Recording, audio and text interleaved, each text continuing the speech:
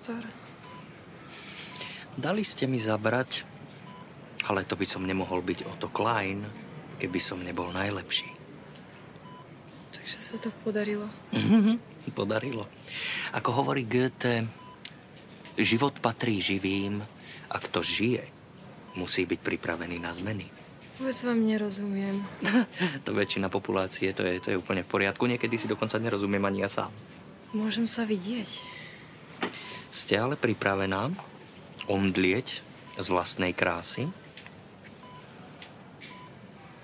Ale veď... Áno, ja viem, ja viem, nemáte slov. No to teda nemám. No, pre mňa to bola maličkosť. Veď som Musím ešte poved- škarečia než predtým. Prosím? Čo ste mi to urobili, vy amatér?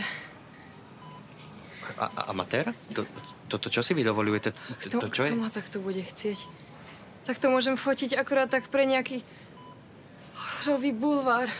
Po, poprvé, poprvé, ja nie som amatér. A, a čo som dokázal týmito zlatými ručičkami, tak toho s hororom nemá absolútne nič spoločné. A po druhé... Ale má.